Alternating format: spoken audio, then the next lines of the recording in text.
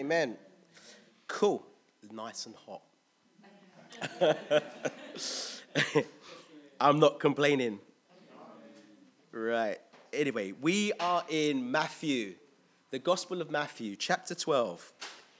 And if you were with us last week, you would know we looked at how Jesus responded to the Pharisees who openly accused him of working by the power of Beelzebub. They accused him of working by the power of Satan. And they did this because the multitudes were asking the religious leaders the question could this be the son of David? Could this be the Messiah? That's what the, the, the multitudes were asking. And, and because the religious leaders obviously didn't want to endorse Jesus, they said, no, he's not. He works by the power of Satan, Beelzebub. And so Jesus responded to them and he told them that their argument, their logic was just not, it was illogical because, you know, any kingdom fighting against itself will not be able to stand. And so he sort of like said to them, look, your argument doesn't even make sense. And the fact that you're attributing what I do to, to Satan, you know, what you're doing is like sins against the, the Son will be give, forgiven, you know, blasphemy against the Father will be forgiven, but, but the work of the Holy Spirit, that's like the unpardonable sin because if somebody lives their whole life, we, we, we considered, and they do not accept that prompting on their heart, that, that prompting in their mind to receive Jesus as Lord and Savior, then, then what can the Father do? You've made your choice, you've made your decision. Okay? It's the work of the Holy Spirit now to convict the world of sin and draw them, introduce them to the Son, as it were. And so, Jesus said that basically that's the unpardonable sin. And he says that they speak evil because it was um, the words what they spoke were evil because it just showed what the condition of their heart was. And we looked at a verse which says, For out of the abundance of the heart, the mouth speaks. And so we considered sort of like the words we use, the conversations we have. Jesus says, A good man out of the good treasure of his heart brings forth good things, and an evil man out of the evil treasure brings forth evil things. But I say to you that for every, how many? Every idle word men may speak, they will give an account of it in the day of judgment. For by your words you will be justified, or by your words you will be condemned. And so we considered it again for the believer. We will give an account of our life and our works and our words at the Bema seat of Christ. Anybody ever heard of the Bema seat of Christ? Amen. Romans 14:10. And for the unbeliever, it will unfortunately be the great white throne judgment spoke of in Revelation 20. And so, this is the scene, the altercation which the Pharisees brought before Jesus because he had um, basically um, healed someone who was deaf and who was mute. And so after Jesus said these things, it says in verse 38, if we're in chapter 12, it says, Then some of the scribes and the Pharisees answered, saying, Teacher, we want to see a sign from you. Now, just pause in there for a moment. At first reading, at first glance, if you was reading, tracking through the Gospel of Matthew, you may just read this and feel and, and, and, and think that it sounds like a sincere request, right? Amen? Amen. Would you? Do you know what I mean? It seems like, but it's not a sincere request. I mean, after, as, as, again, after having this harsh, harsh altercation with Jesus, this was anything but sincere. This was actually the scribes and the Pharisees' last ditch attempt to discredit Jesus before the people. And what the religious leaders were actually saying to the people is that, guys, Jesus has not yet validated his credentials to be Messiah. And what Jesus actually needed to do was he, he needed to give them a sign. But not just any old sign. They wanted a sign which is something cosmic Jesus turn the sun into blood. Jesus calls it to go from day to night. Jesus, do something miraculous like show us the finger of God. You remember the finger of God in, in the book of Daniel? Many, many, is it many, many, many, many, many, many, many, tekel upharshini. Give us a sign, Jesus. Prove to us that you are indeed the Son of God. So, what they wanted to do is they wanted to embarrass Jesus because Jesus obviously wasn't going to do it, right? And so they would turn around and say, Aha, we told you all, he's a fraud. He's not the Son of God. See, that was their intention. So, picking up in verse 39, it says, But he answered and said to them, An evil and an adulterous generation seek after a sign, and no sign will be given to it except the sign of the prophet Jonah. For as Jonah was three days and three nights in the belly of the great fish, so will the Son of Man be three days and three nights in the heart of the earth. The men of Nineveh will rise up in the judgment with this generation and condemn it, because they repented at the preaching of Jonah. And indeed, a greater than Jonah is here. The queen of the south will rise up in judgment with this generation and condemn it. For she came from the ends of the earth to hear the wisdom of Solomon. And indeed, a greater than Solomon is here. So, pause in there. They, they asked the question. And it says, But he answered and said to them, It's an evil an adulterous generation that seeks after a sign. That's interesting, right? Because modern, modern Christianity, modern charismatic, charismatic Christianity is very much about signs, isn't it? Very much about signs and wonders and come and receive your healings, come and see the signs. who would you believe? Whose report would you believe? Their report or Jesus' report? Jesus' report says an evil and adulterous generation does what? Seeks after a sign. So, those who are seeking after signs, already the motivation is wrong, right? Already something's flawed. And so, this is exactly how Jesus described this generation which he was born into. But the characteristic sort of like continues, doesn't it? People seeking after signs. And so he says that this particular generation had an evil heart. They were evil because they had an evil heart.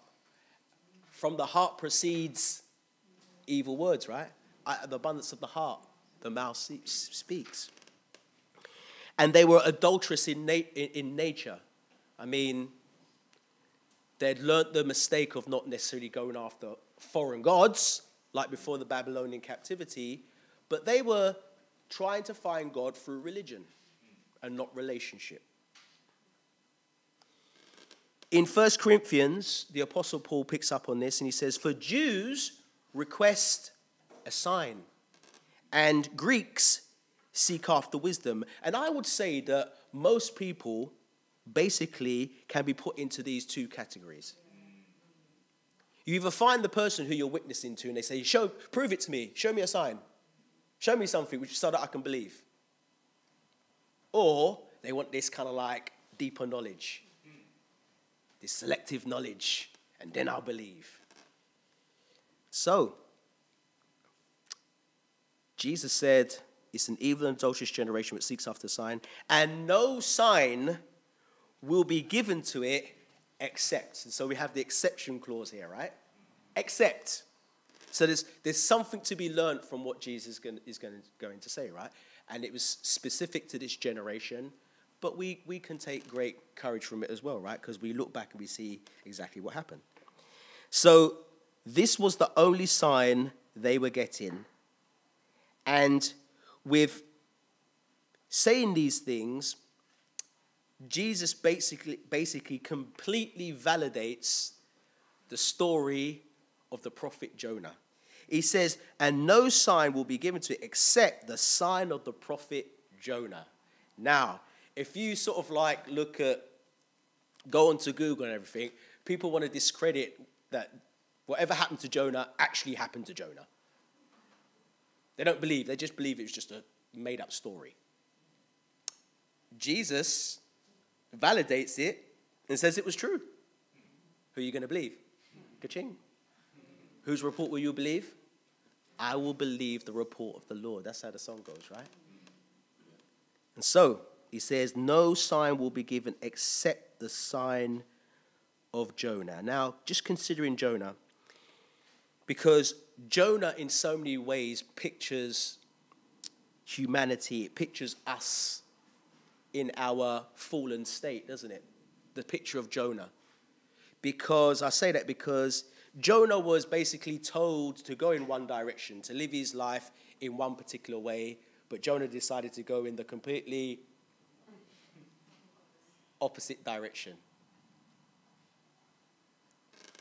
And I would say that most people, humanity, basically tries to live their lives for themselves, going in their own way, which is opposite to a life with Christ, until Christ comes and arrests the heart, brings revelation of who he is, and then now we start making our way back to Christ, right? Back to God. So the picture of Jonah, in so many ways, pictures us, it pictures humanity, I would say.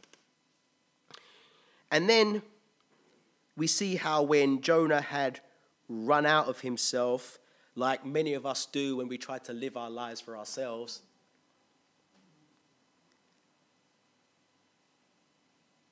when we try to work out this thing called life in our own strength and we see that it doesn't work, just like Jonah, there needed to be this kind of like death resurrection experience.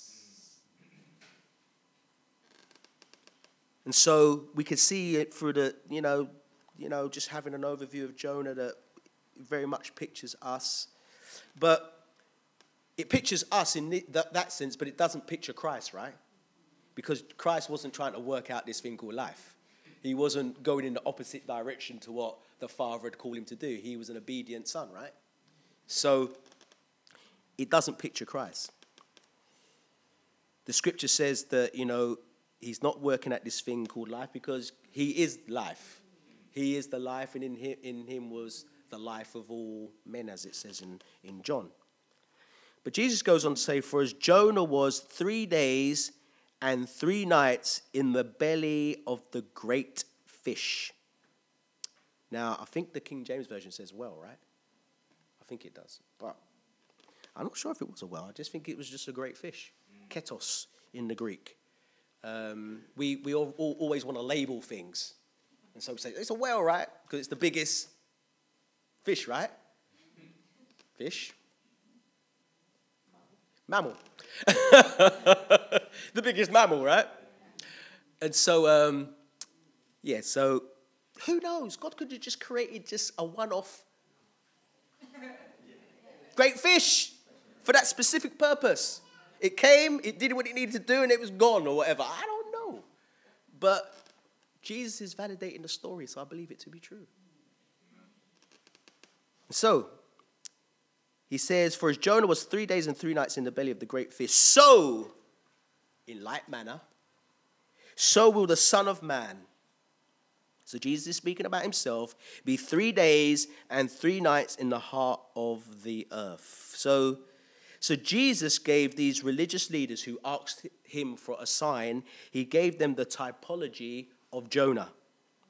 And he tells them, he shows us that Jonah is a picture of prophecy. And in that it looked like there was no way out for Jonah. It looked like it was the end of Jonah, but God miraculously made Jonah come back from impending death. And the great fish, whatever fish it was, whatever mammal it was, basically spat Jonah out, right? But as we know, Jesus literally came back from literal death, unlike Jonah. And why? Because as it says, I think it's in the Psalms and it says in the book of Acts that death couldn't hold him, right? Oh, death, where is your sting? So Jesus said this is the only sign they were getting. So I don't know if you ask yourself these questions, but three days and three nights? And the thing is, if we, if we look at scripture from a Western mindset, we have problems because we're literally thinking about three days and three nights. And then we look at the resurrection, we look at, you know, um, um, Easter, Passover, and we're like, well, Jesus wasn't there three days and three, you know, 72 hours. But within, within a Hebrew mindset, within an Eastern mindset, any part of a day constituted the day. Does that make sense?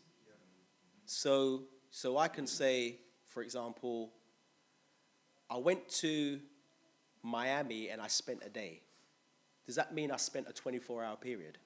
It doesn't necessarily mean I spent a 24 hour period, right? I could have just got flown in, which I actually did, and we flew out. But I say to people, oh, I spent a day or a couple hours. You, you, you see my point? So within a Hebrew mindset, it's any part of it constitutes it. All right? And so that's what Jesus is saying. And again, we have to look at scripture not through Western lenses, but through Hebrew lenses, through Eastern lenses, because then we're kind of like able to make right choices and, and decipher exactly what's going on. So he says, So will the Son of Man be three days and three nights in the heart of the earth which again may be what Peter is alluding to in 1 Peter 3. We're not going to go there. And so, what is Jesus saying? He's saying to the scribes and the Pharisees, the only sign which the nation would get from him was the sign of death, burial, resurrection. That's what he said he was going to give them. And so, within the context now, thinking of the book of Jonah, Jonah, was he sent to Jews or was he sent to Gentiles? Gentiles. Gentiles. And he wasn't just sent to, to, to any old Gentiles, he was sent to the Ninevites, who were wicked, heathen Gentiles. I mean, again, I can't go for it now, but you just look at some of the accounts of the, of the Ninevites. They were wicked people. And that's why Jonah says, What? You want me to go to Nineveh? Them the people? No, I'm not going. I'm going the opposite direction. Because he didn't want to go.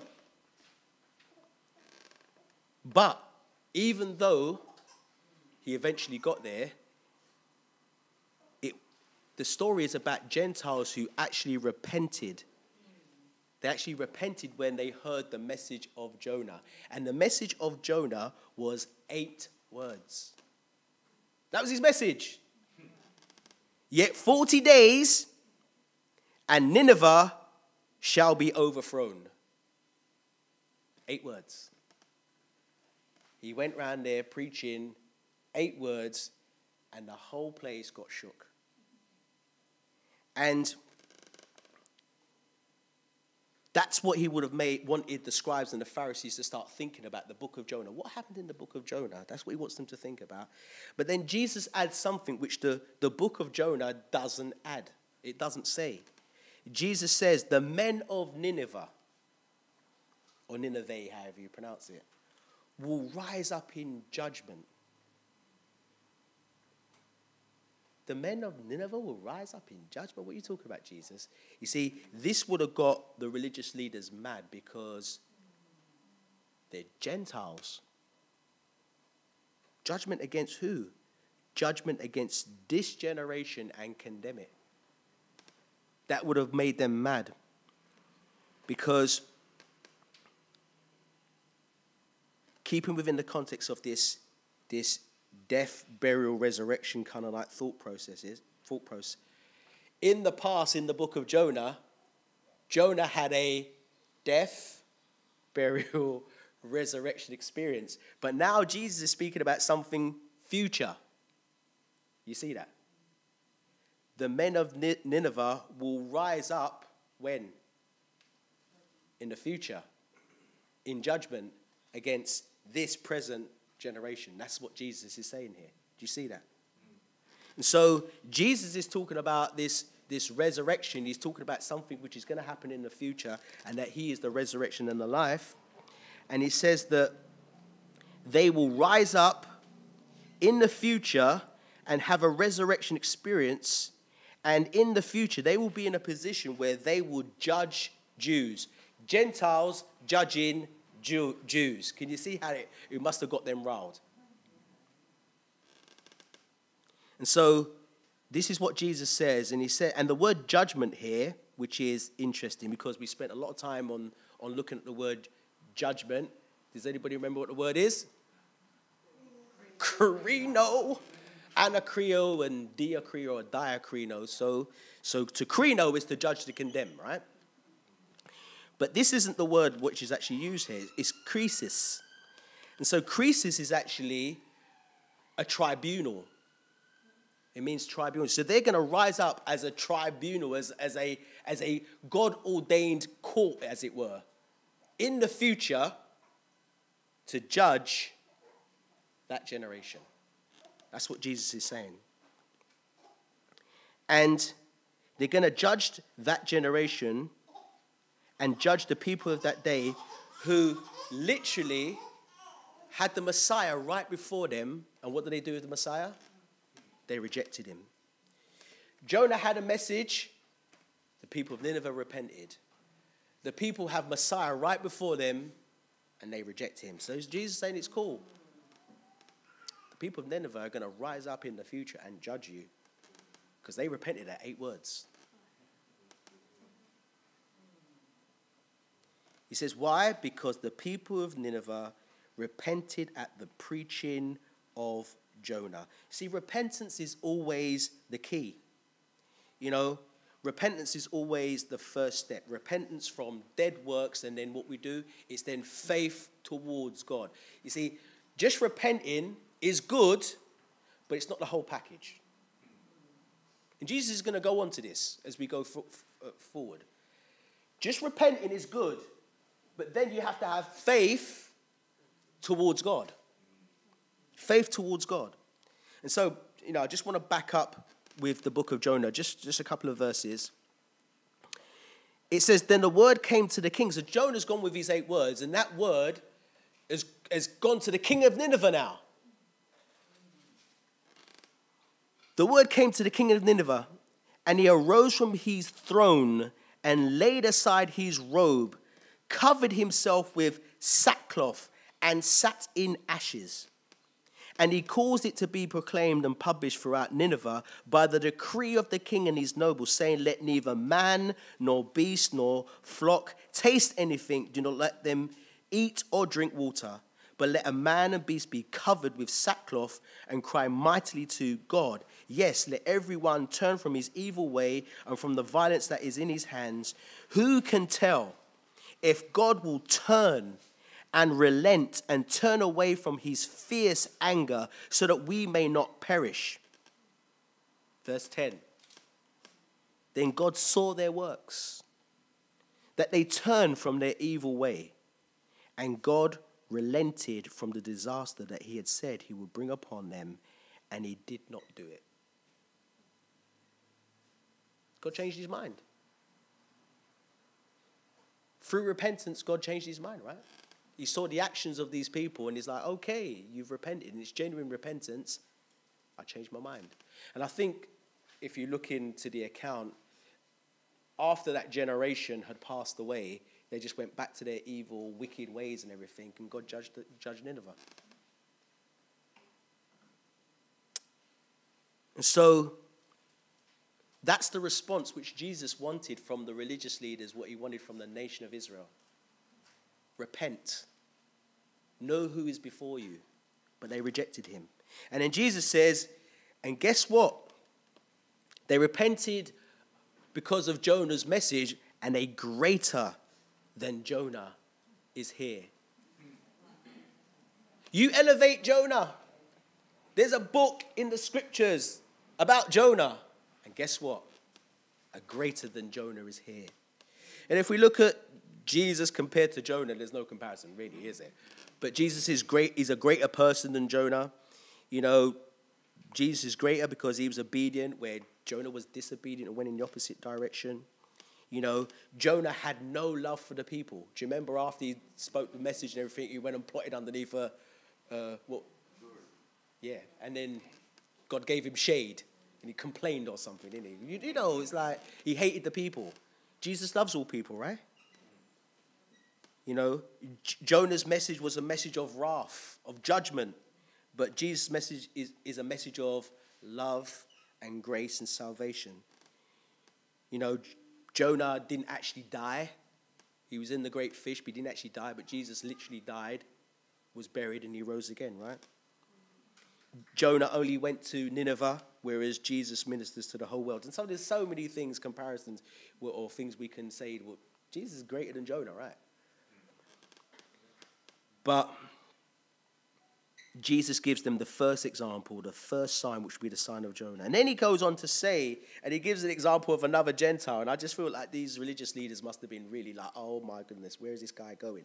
Another, another Gentile. He says, the queen of the south will rise up in judgment with this generation and condemn it. The queen of the south, the queen of Sheba. We can read about the queen of the south in 1 Kings 10. And so the queen of the south, the queen of Sheba, a Gentile woman who was immensely wealthy. And Jesus says that she too will one day in the future be part of this tribunal who will condemn this particular that particular generation. She will rise up in the future, she will resurrect and condemn God's chosen people. Why? For she came from the ends of the earth.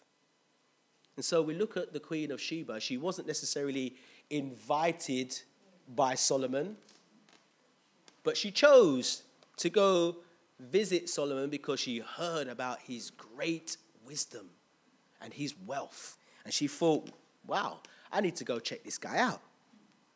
And so she came from the ends of the earth, this meaning she was a, a long, long, long way away.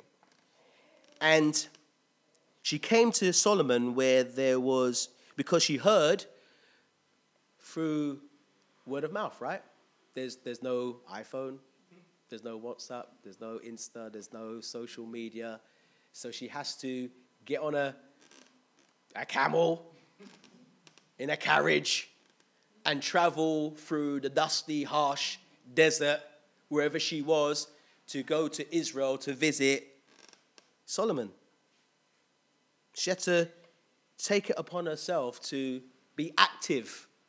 She was willing to cross the harsh desert just to hear, verse 42, the wisdom of Solomon. And I find that amazing. And not to be too harsh, but she was willing to travel across a harsh desert. She's the queen, so maybe just in a carriage.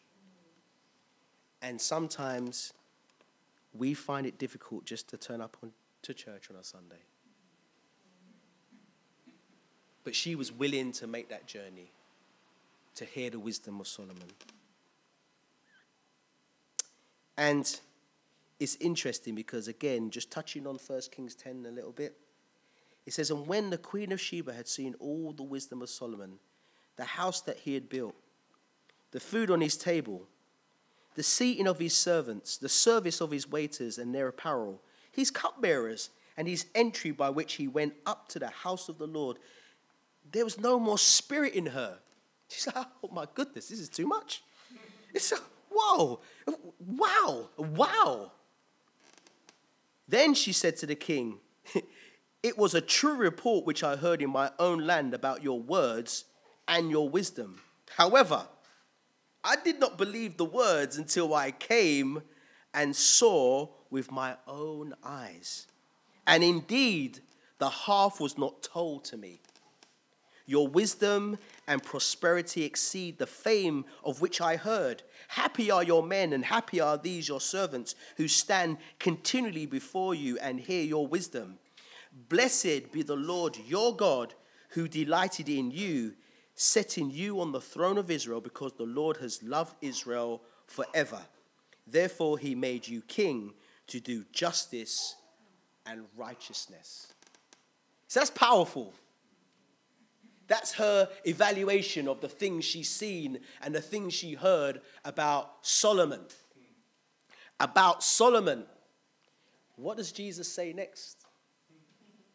And indeed, a greater than Solomon is here, right before you. Right before you. And so, all the fine clothes, all the, the, the, the, fine array of clothes and gold and houses and servants and, and everything and, and wealth, what Solomon had cannot be compared to Jesus. To sit at the, the, the, the Lord's table. I mean, we, we, we speak about the marriage supper of the Lamb, right? Whatever that means. The marriage supper of the Lamb. And to, to, to hear the words of Jesus and to receive his eternal blessings, it cannot be compared to that of Solomon.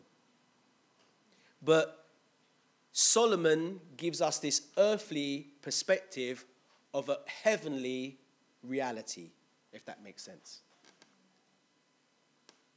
And so Jesus told him that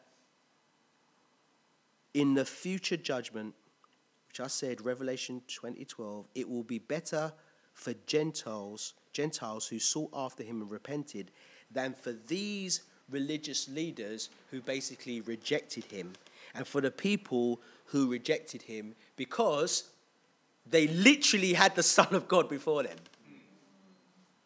and they didn't care. And I suppose the lesson is the greater the opportunity to receive understanding and salvation, the greater, and you reject it, the greater the judgment. And so we live in the West, you know, and everybody's heard of Jesus, right? Everybody can have access to a Bible. Everybody can have access to listening to Premier Radio or, you know, have Bible apps and everything. And so to live your whole life and not even avail yourself of the information, I will say potentially greater is the judgment in God's eyes. So, Jesus basically gives them the sign of Jonah and the references of, of Solomon, the reference of the Queen of Sheba, and, um, and Nineveh being Gentiles, and the Queen of the South, the Queen of Sheba being a Gentile, and how they're going to judge Jews. And that would have made them even more mad. And then Jesus basically gives a striking parable which connects right back to the beginning of the chapter. So when you're reading Matthew, you kind of like, you got to keep things in sync because it kind of like goes back and forward. It goes cyclical, okay? And so he gives them a parable which goes back to the beginning when Jesus cast out the, the, the demon, the unclean spirit from the man who was deaf and mute, and with the religious leaders openly rejecting him. And he says, When an unclean spirit, verse 43, goes out of a man, he goes through dry places seeking rest and finds none. Then he says, I, ret- I will return to my house from which I came. And when he comes, he finds it empty, swept, and put in order. And then he goes and takes with him seven other spirits more wicked than himself, and they enter and dwell there. And the last state of that man is worse than the first so shall it also be with this wicked generation. So, what's going on? Jesus, in a sense, brings the conversation, the subject matter, full circle. And in this parable, Jesus is speaking of the nation of Israel, he's speaking of, of, the, of religious Israel as the man. Right? Can you, I hope you can see that, right? when an unclean spirit goes out of a man. So, so the man is Israel, religious Israel, the nation. And basically, Jesus is saying how they were prepared for Messiah. John the Baptist came along, and John the Baptist's message was a message of preparation. Repent, for the kingdom of heaven, the kingdom of God is at hand, right? It's preparation. And all of Israel went out to the Jordan to be baptized for the mission of sins, right? It's prepare. He's the voice of one crying in the wilderness, preparing the way of the Lord. Preparation. After, so in a sense, what John the Baptist was doing when people were going out to baptize, he was cleansing the nation. Cleansing the nation in preparation for Messiah. And so they were cleansed, but then the next step which they needed to do was is they needed to receive Messiah, and then, if I could say it this way, be filled by the teaching and the life of Messiah. Does that make sense? Repentance from dead works has to have faith towards God. So they were cleansed, but they had not received Messiah. So, in effect, their house was empty, swept, and put in order. You're ready for Messiah, right? But you have to receive Messiah. Can you see that? And so, when the unclean spirit goes out of a man, the unclean spirit goes through dry places, seeking rest, and finds none. So, I'm not exactly sure what dry places means, but something we can all relate to this summer. Is the grass green at the moment? Is the grass dry? it's dry, right? And it's not giving any nourishment or anything because it's dry, all right? And so, so, so maybe dry places is lifeless places potentially. I don't know, do your own investigation. Yeah. So, does it depict that there's no life?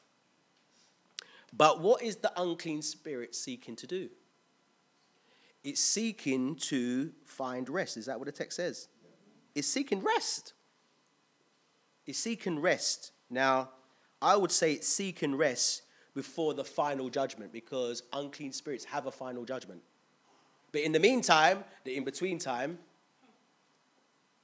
they're seeking rest somewhere, and they, don't want, they can't find it in dry places, so they're looking for a host. All right?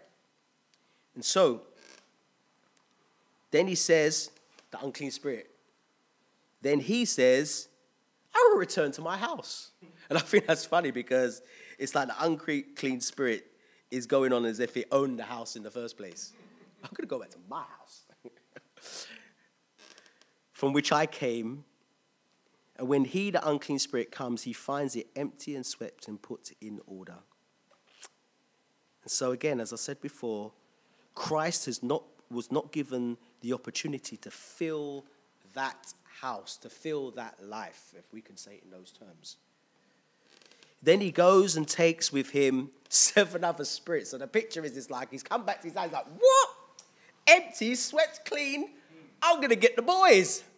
Goes and gets, as the text says, seven other spirits. Now I personally think, you know, that it's not literally seven. Seven in the in, in scripture is the number of fullness, right? Completeness. And so the, the, the, the man at the tomb of the Gadarenes, he had how many unclean spirits within him? A legion, right? Up to 6,000. So seven, 6,000, two, one. You get the point.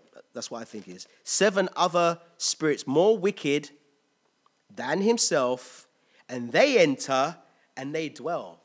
They, they're like, oh, yeah, this is cool. We're going to plot here. We're going to take up residence. And it says that in the last state of that man is worse than the first. So shall it also be with this wicked generation. And so, and so we, in, within its context, Jesus is speaking about that specific generation. So shall it be with this wicked generation. And his, you know, if you look at history from this time when they rejected him and then Jesus ultimately um, crucified, from that time until now, if we look at modern Judaism,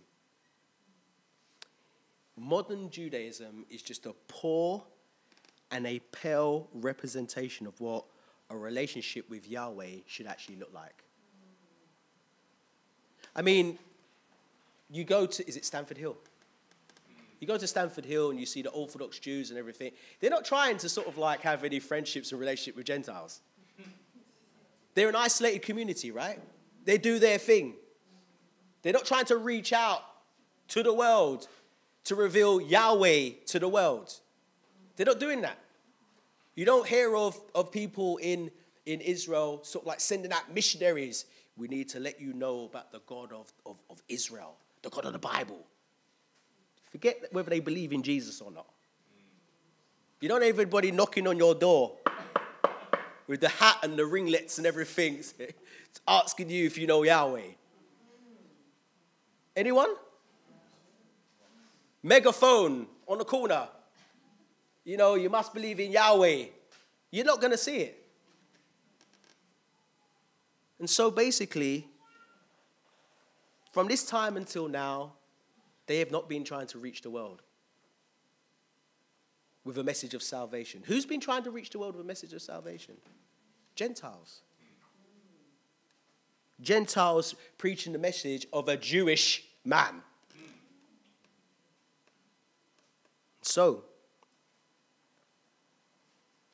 Jesus speaks about this specific generation, but you know, some look at this text there and and they they, they kind of like believe that it also speaks of a person who who basically once, you know, tried to live a moral life, you know, came to a place where they were about to receive Jesus as Lord and Savior. In a sense, they were cleansed, in a sense.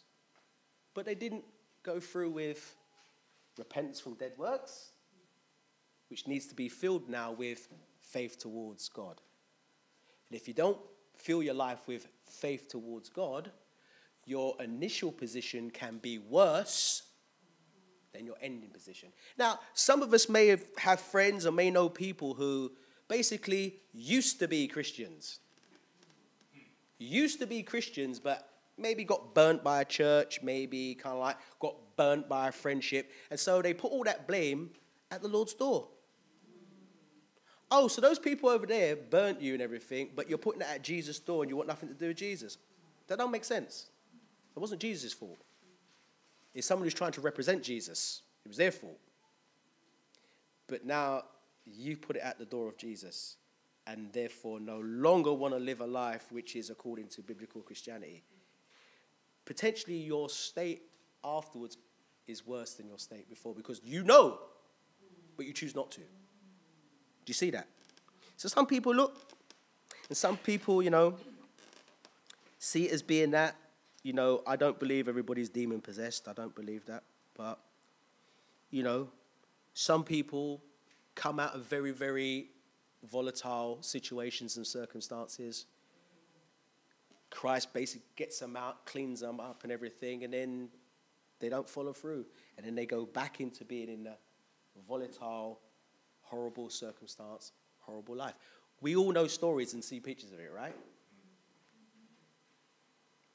So, some people see that.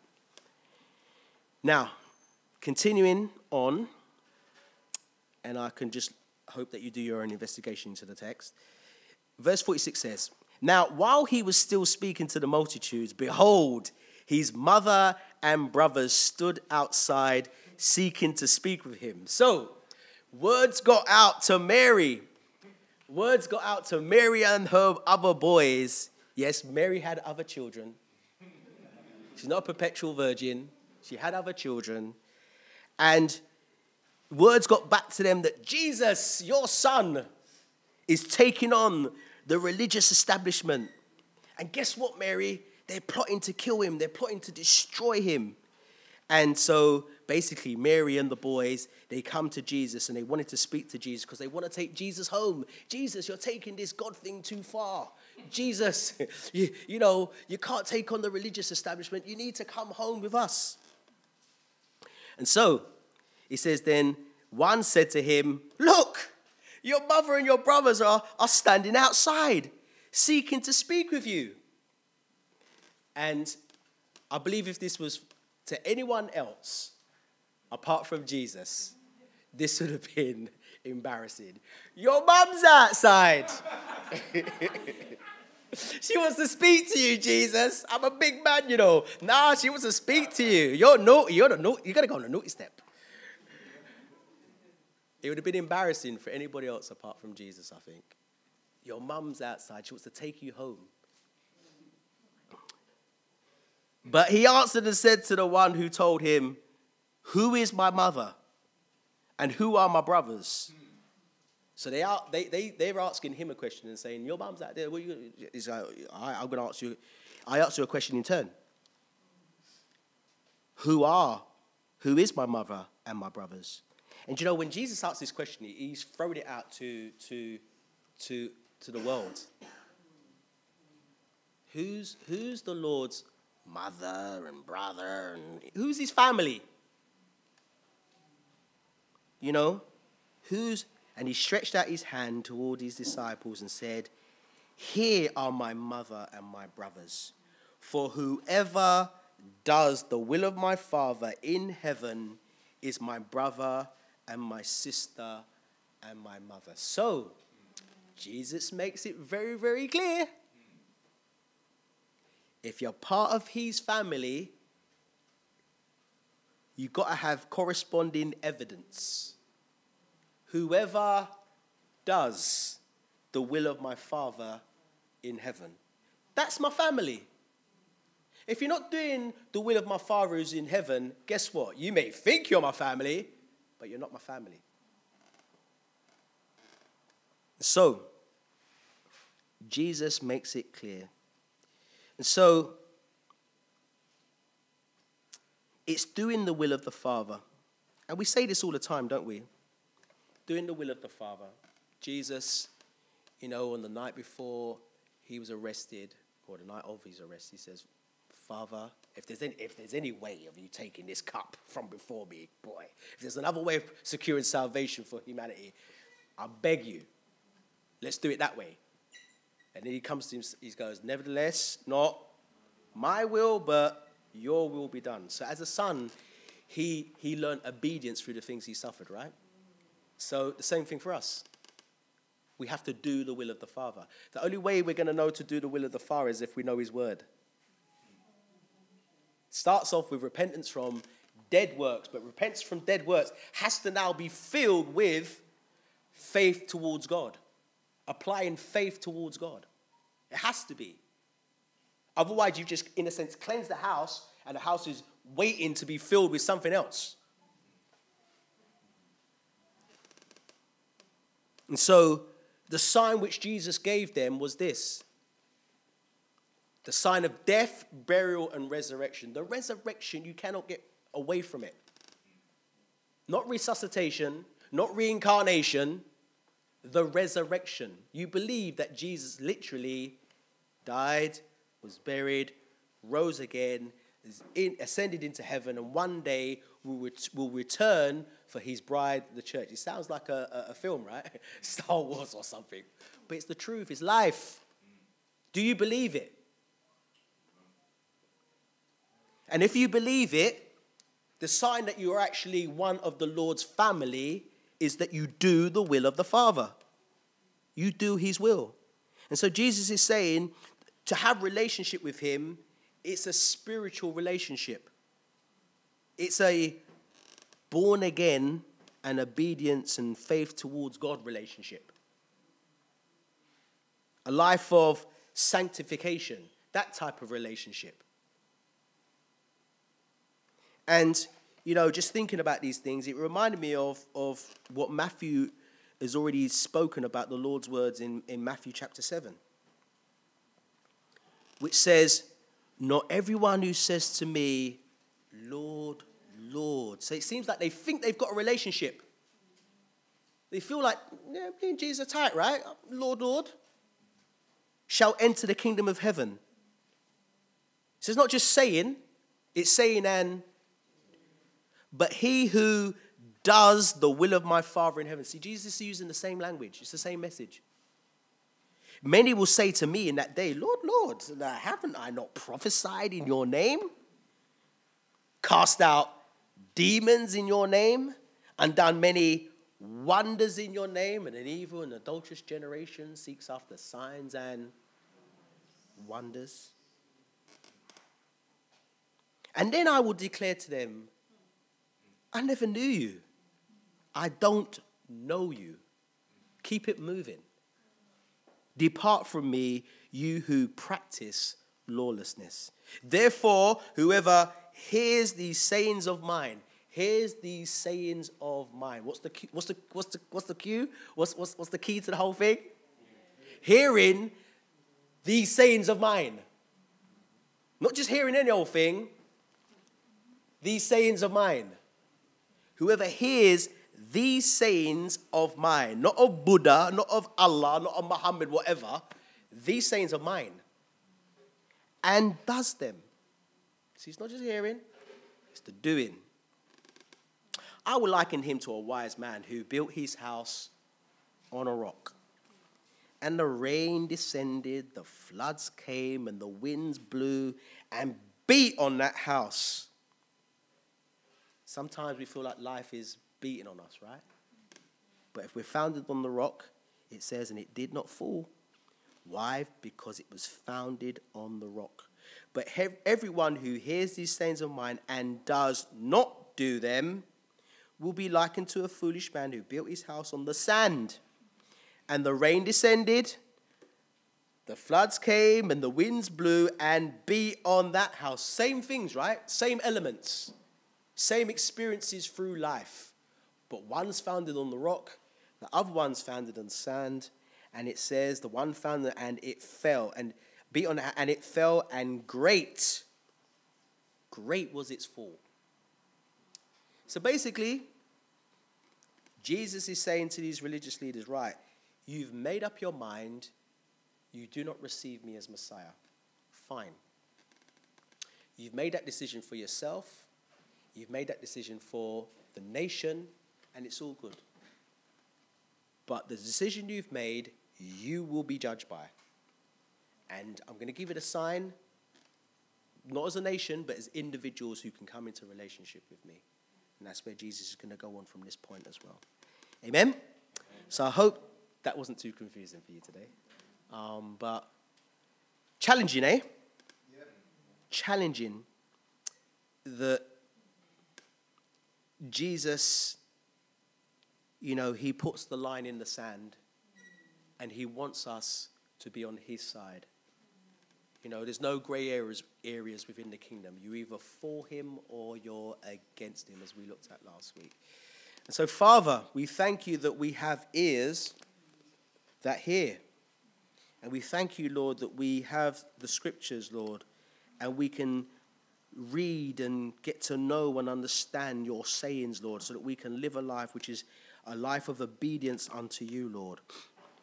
Help us to go through that process of sanctification. It's not always easy, Lord. It's not always easy to pick up our cross daily, to die to self, to to in every situation to say, "Oh wow, I really want to do this, but not my will, your will be done."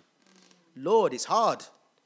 But you know, you've given us your spirit, Lord, you've given us your strength in order to overcome these things. And your word says that, you know, to he or she who overcomes, Lord, you would give us blessings you would give us rewards, Lord. Eternal blessings and eternal rewards, Lord. And so that's the greater good we're looking for, Lord. And so continue just to bless our time with each other. Continue to bless this day, I pray.